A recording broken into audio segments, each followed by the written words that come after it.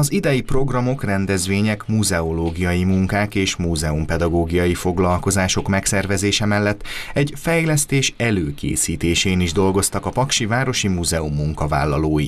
Az előzetes munkákat, lévén, hogy szabadban végzett munkákról van szó, a pandémia nem befolyásolta. Sőt, én azt gondolom, hogy így a kollégák sokkal több időt és energiát tudtak erre a feladatra fordítani, és az idei évben elkezdődik a, a kivitelezés.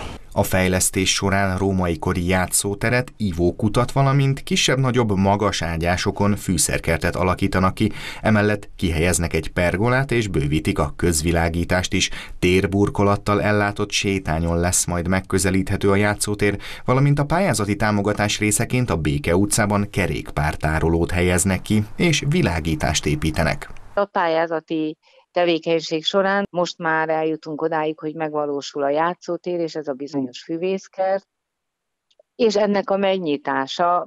Jelenleg még a műhely munka zajlik, az egyedi játszóelemek és tároló épületek legyártása. A helyszíni kivitelezés ezt követően indul, a befejezés határideje június 30-a. A múzeum vezetője abban bízik, hogy akkor már lehetőség lesz szabadtéren ünnepélyes keretek között átadni a megújult teret a nagy közönségnek.